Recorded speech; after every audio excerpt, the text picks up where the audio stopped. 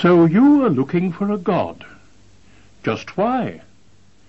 As explanation of your life may be, some magic maker of the earth and sky, and whatsoever else you know or see?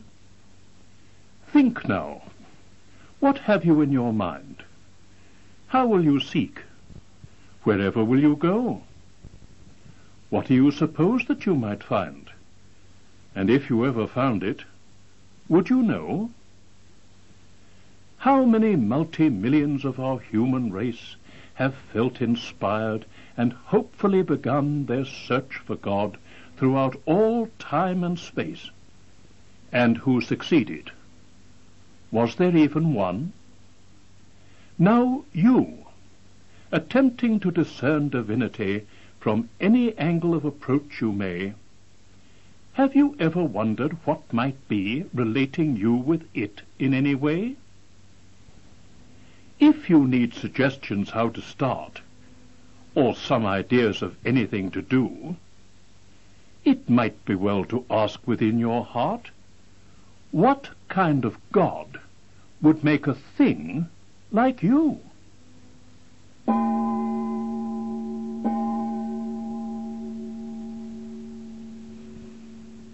If there is a God, then you must be one item of its greatest entity. If there is no God, you may desist, because you cannot possibly exist.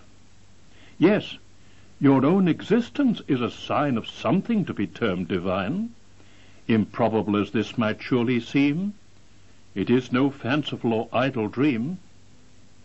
If God is total living energy, of all existence everything may be, and you are but one atom of that plan, you have to be a piece of God as man.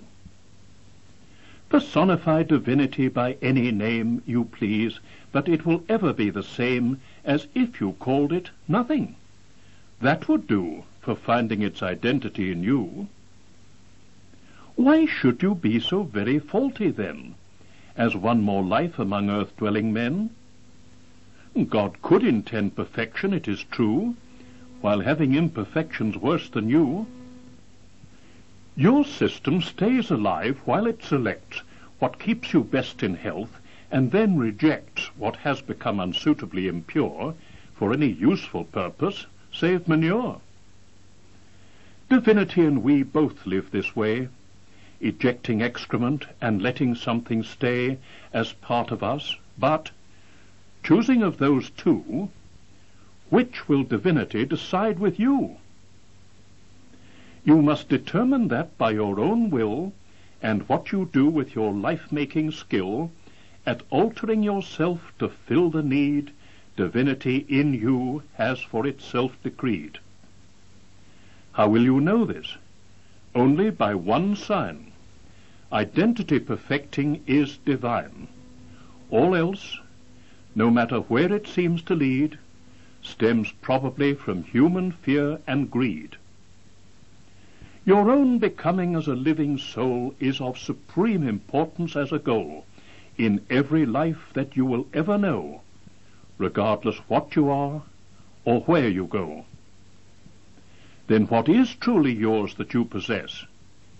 That which you take past death with you, no less, nor one iota more. Such is your worth, and all you ever bring to any birth. When you are born, your own genetic trends are all you may rely on as best friends or mortal enemies already part of you by former life experience passed through. These should be modified by how you think and act according to your vital link with life itself as an identity, intending who you truly ought to be. Therefore there is no need to look for God by customs or in creeds however odd.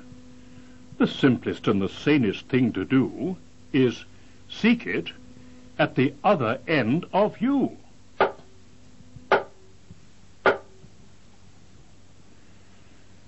Do not expect to ever find objective gods of any kind, except through images you make in your own mind for thinking's sake.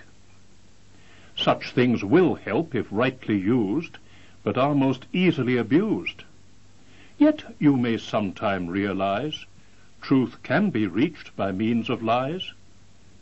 So you may safely symbolize your feelings or systematize your thoughts, however it seems best, for helping your essential quest. Keep one objective in clear sight, and live according to its light, to know the self that you should be as an immortal entity. Continue till you come to know that all above is matched below, and if divinity be true, it lives, as best it may, through you.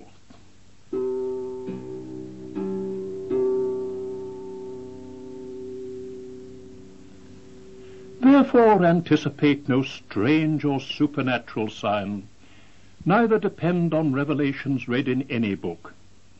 If you sincerely seek some trace of a divine design, be brave enough to go inside yourself and look. Do not despair of the confused conditions that are there, nor waste good time in trying to alter them with any force. Continue calmly, keeping aims and motivations clear, then all will come to sure and certain order in due course. That is the hardest and most difficult of things to do, by trusting your whole life to what seems nothing but a dream humanity has had so long while hoping it comes true and proves our purpose in some special spiritual scheme. Yet what indeed but dreams have helped humanity to rise from who knows what obscure conditions till the present time? And what again will help us ultimately realize the inner implications of our highest cosmic climb? It is, in fact, our dream beliefs which formulate our fate by channeling our consciousness within the secret way, determining our destiny and spiritual state. So, have no hesitation, call inside yourself, and pray, Who then are you that I must be? Show me just who you are as me. If you intend to live through me, be my one end eternally. Please manifest to make me feel that I am blessed since you are real.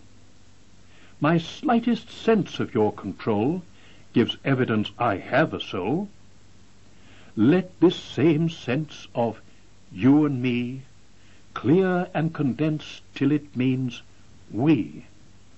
Then may we meet and unify until complete as only I.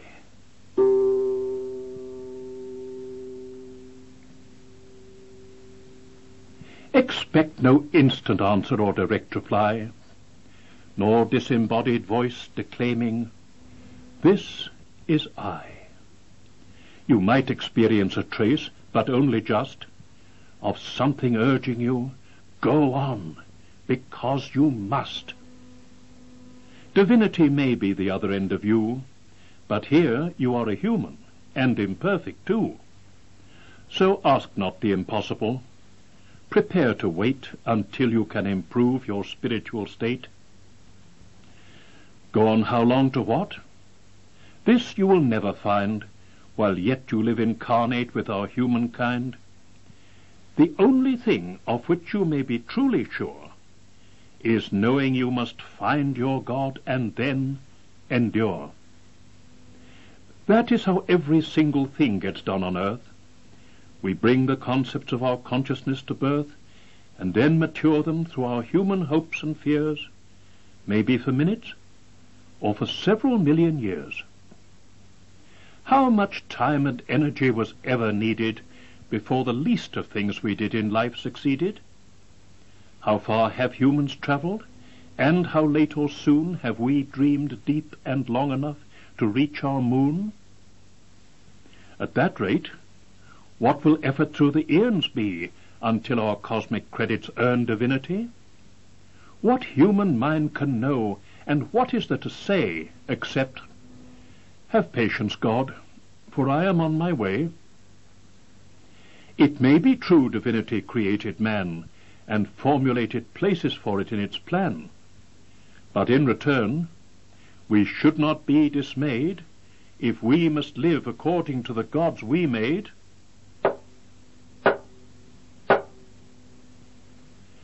How do mere men make gods of any sort? By their beliefs that a superior force directs their lives the way they think it ought, from some mysteriously potent source. All see such power as they would wish their own to be if they were gods, therefore supreme, and answerable to themselves alone, with nothing to disturb their self-esteem. In principle this may be excellent, but as a practice, everything depends how humans are and unto what extent each entity decides as it intends. The dictionary terms for God are plain. That which is worshipped. Humans seldom try to worship anything except for gain, or something to increase a sense of I. Men make themselves revolting gods sometimes, incorporating almost every vice or hypocritically concealing crimes of callous and unfeeling avarice. How many worship money and bow down before some status symbol or believe that social recognition and renown would be the highest aim they could achieve. That kind of God is dearly bought indeed by sale of what must truly be termed soul, because it grows from an essential need to unify with spirit as a whole.